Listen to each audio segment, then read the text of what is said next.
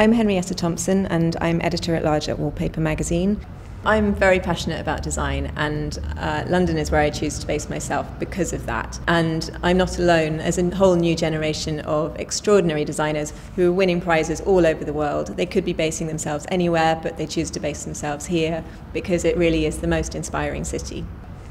If I was going to curate my own day in London, if I had one day to see this city, I would perhaps pick out a couple of shops and galleries, but mostly I would really try and wander around one area and try and really soak up that energy of what the city is about.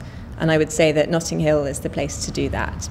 It's an incredible mix of um, film, fashion, art, style, and music. It's you know it's where the Notting Hill Carnival happens, and it's a really vibrant mix of, of cultures and music.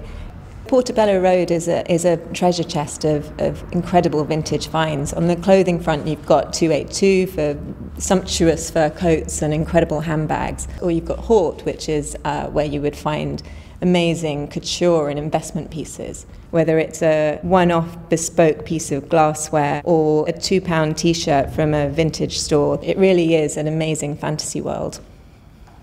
London has some of the best department stores. It's got Harrods and Selfridges and Liberties. It's got amazing design stores. It's got extraordinary architecture, whether that's historical museums like the V&A or whether that's the Gherkin or the Millennium Bridge or Tate Modern. London is a crossroads for, uh, for creative people and it's really a magnet. You need to be here. It's where it's happening.